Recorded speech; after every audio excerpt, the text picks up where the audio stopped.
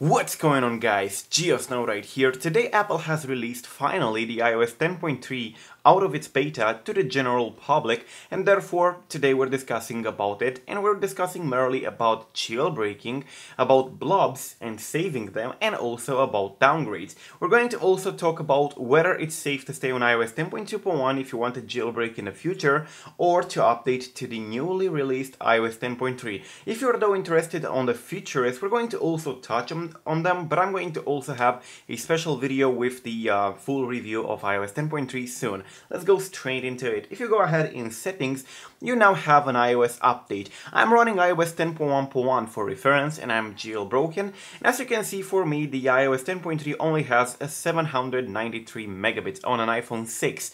And it says in here to quote, iOS 10.3 introduces new features including the ability to locate AirPods using Find My iPhone and more ways to use Siri with payment, ride, booking and autom automaker apps. Well, you can probably see that they made a couple of changes in here, but also let me tell you something very important. iOS 10.3 includes the new APFS or Apple File System format, which is the first time in over 20 years when Apple changes the file system format from HFS and HFS Plus to something new.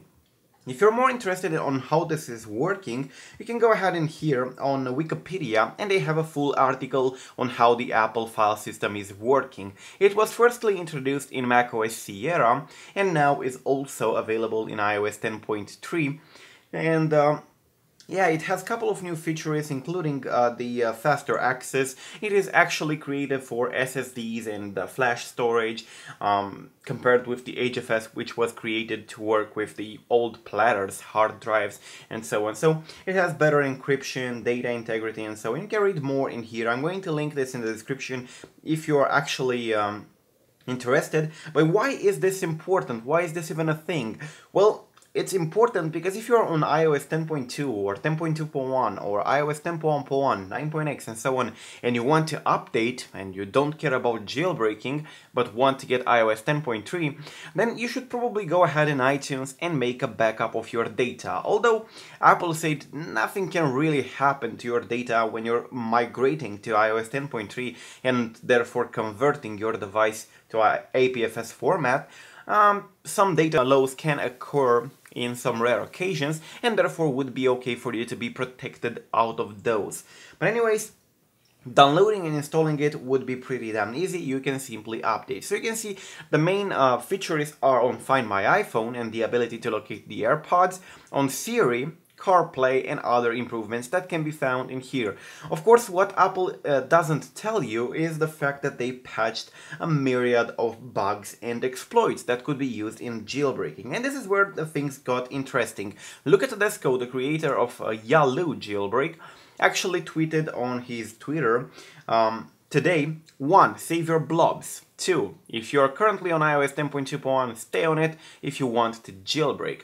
3. I'm done with jailbreaking. And no, unfortunately this doesn't mean he already finished the jailbreak, he means that he is no longer working with um, iOS jailbreaking.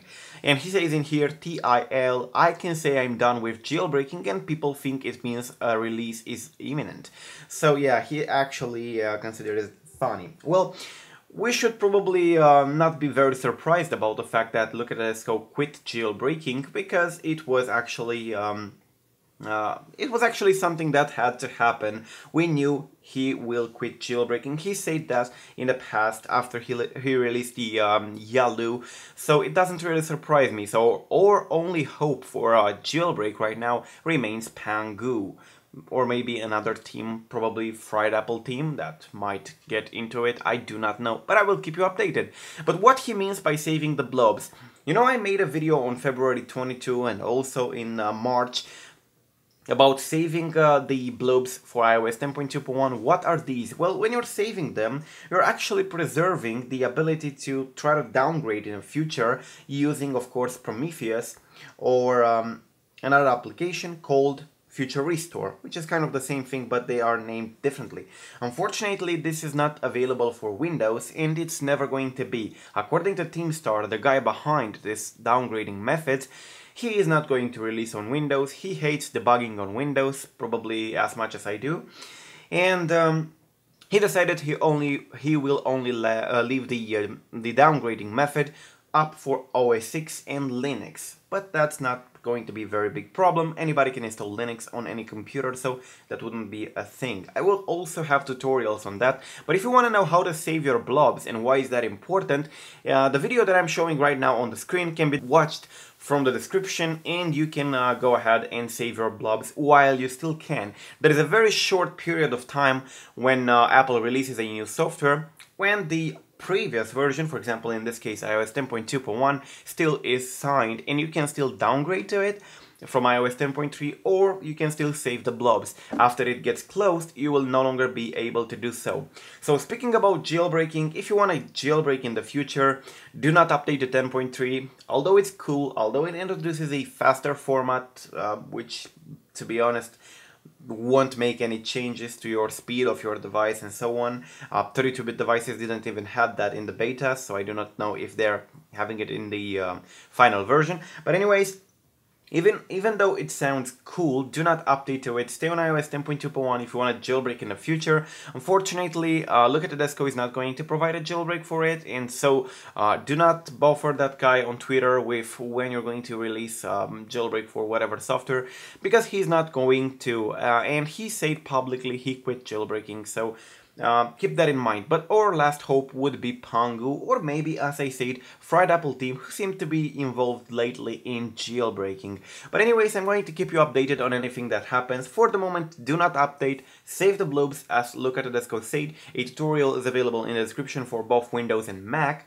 And um, yeah, do not forget, stay safe, subscribe to stay updated, and I'm going to keep you updated on anything related to jailbreak. I'm GeoSnow, peace out.